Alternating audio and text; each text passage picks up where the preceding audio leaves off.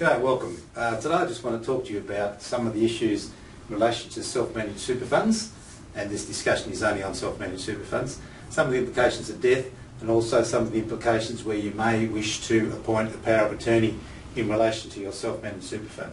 So I've got a couple of notes on the board. An important part of this is to always to remember under the SIS Act what is the definition of a self-managed super fund and that is one of the major issues is that all members must be directors and all directors must be members. Okay, very important point. So here's an example of our self-managed super fund. Uh, say dad and mum in the fund. Typically we should have a corporate trustee of the super fund and then typically dad and mum are directors. Remembering that all directors must be members and all members must be directors. So at this point in time, this fund's all, all okay. Typically also in the corporate trustee, which is a company, we have shareholdings and typically a corporate trustee would be set up with, for example, dad owning 12 shares and mum owning 12 shares. So they're 50-50 and inside the fund they may be roughly 50-50. That doesn't really matter. So that's all fine.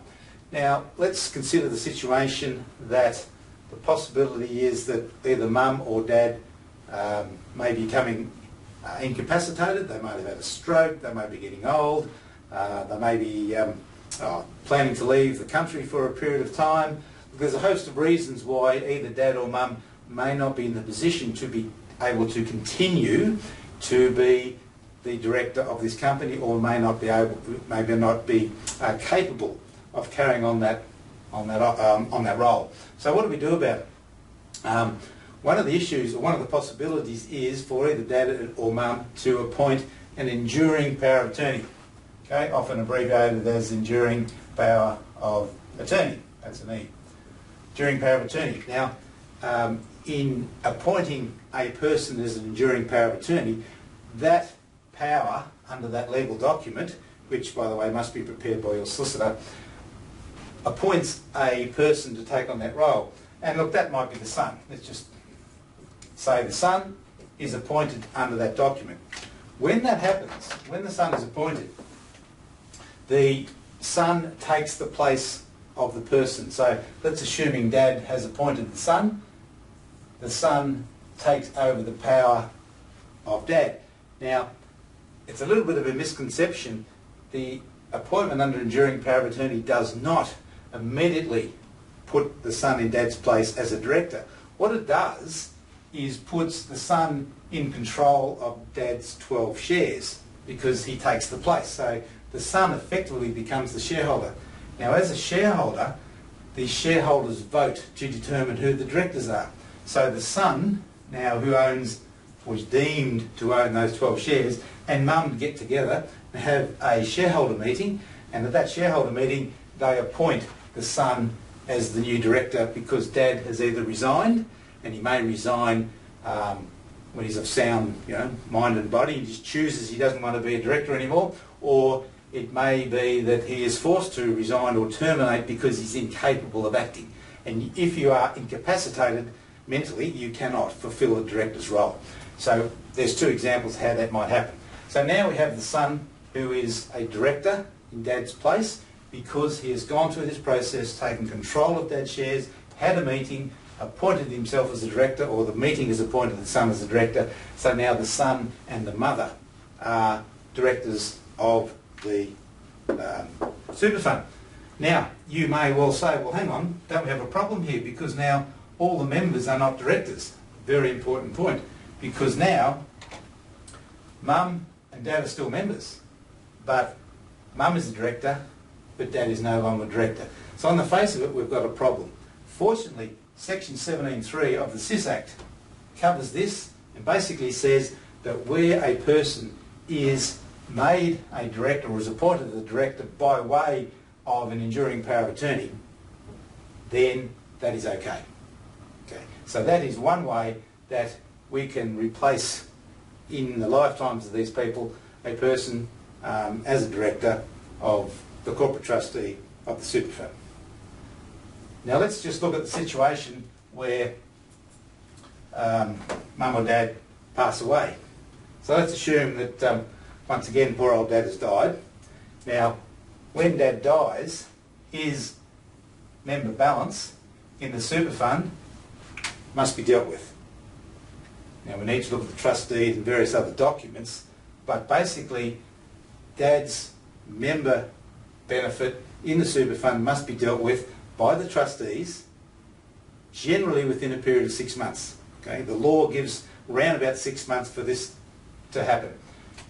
The law then also provides, and, and also this section also provides that in those circumstances it's possible for the legal personal representative of dad to step in as a director. Now how does that happen? Well first of all, dad will have a will and if he hasn't got a will, he should have a will and this is a very good example why he needs one. Under dad's will, he will have made provision for whom his legal personal representative will be and that's typically the executor or is known as the executor. Okay, the executor. So the executor is determined by dad's will. It's not an enduring power of attorney.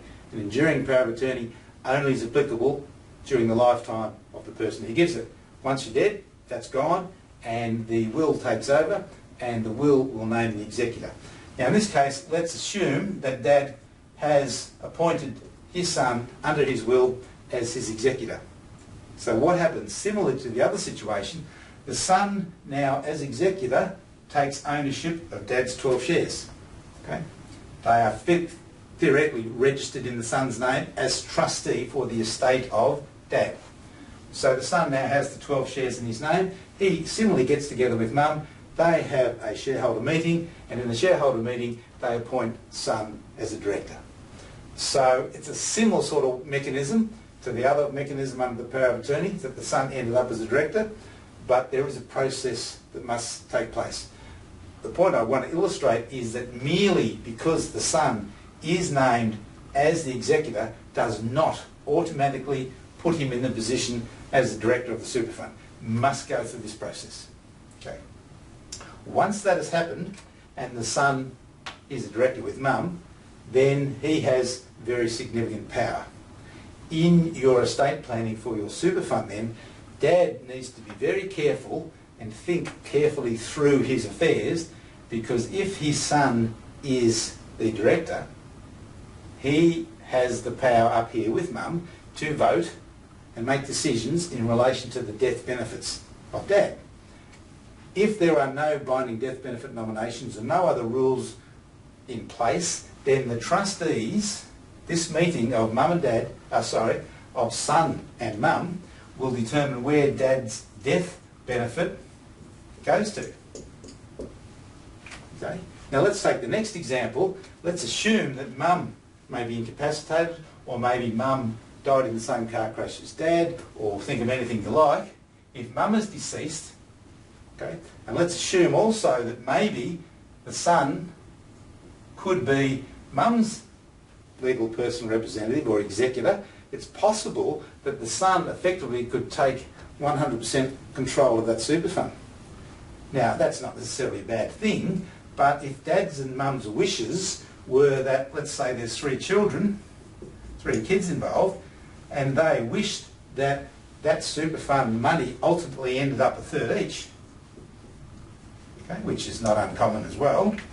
However, if the son has effective control, there is nothing to stop him saying, okay, all of dad's benefit, and let's assume this is son number one, who is the same person as son number one over here, there's nothing to stop him shooting all that money and paying it to himself.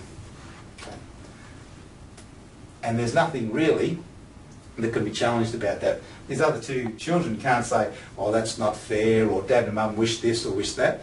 In the absence of any binding nomination or any other formal agreement in place, um, the son has the power to do that. The point here is that be very careful who your legal personal representative is under your will because maybe one day that person takes control or is effectively will be the replacement director and in turn will have significant power in the determination of where death benefits may be paid or even not the extreme of persons, people dying, they may, may well be making significant decisions in relation to the investments of that super fund. An important point, basically what we would say, you need to come and talk to us and go through the overall picture of um, dad and mum and their estate planning, what children are involved, and build a picture all up before we, before mum and dad made decisions about who their legal personal representatives may be, and also in the, the consideration of who a, an enduring power of attorney may be in relation to the family. Estate planning, very important. Thanks for listening.